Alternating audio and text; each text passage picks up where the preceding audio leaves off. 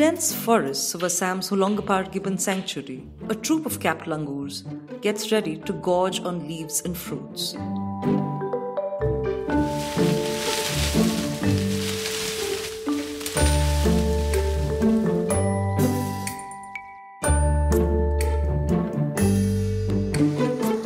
Eating is a beloved activity for them, and they spend a large part of the day doing it. Their enlarged salivary glands and a special stomach help break down leaf cellulose, which is hard to digest but key to their diet.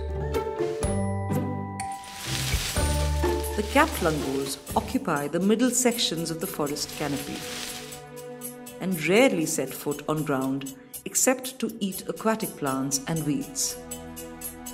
However, this delicious treat lies on the other side of a railway line that slices through the forest. Trying to cross over the railway track results in a bloody end for many langurs. It is an unfortunate price animals have to pay for human development.